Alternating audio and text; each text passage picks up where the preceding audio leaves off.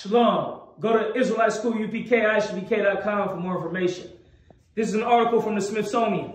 Still, many archaeologists believe genetics researchers need to be more careful about the language they use, especially when it comes to cultural labels, and more proactive in controlling the discourse around their findings, or at least prepared to confront even tangential misrepresentations of their work.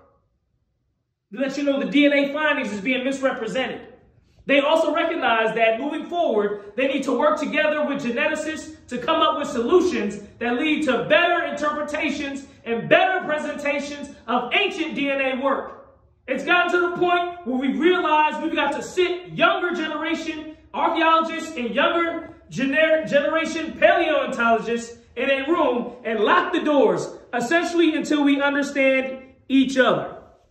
The geneticists are in a pickle because people are misrepresenting their work. Your so-called leaders, these so-called uh, uh, different countries and nations is misrepresenting what's over there in the, in the Middle East. Our DNA is over there, but they can't even tell you because they got the, the politics is covering it up, misrepresenting their work.